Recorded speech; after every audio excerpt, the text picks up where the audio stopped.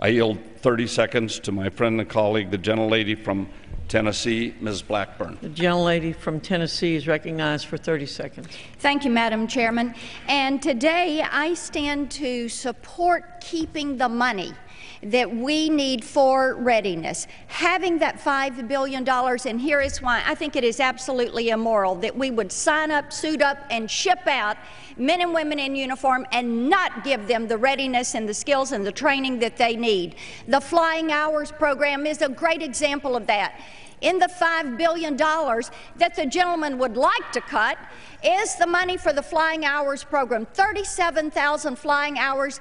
It would equip us with 500 aviators that we need. Let's fund Time these efforts in expired. the men and women in uniform. Yell back.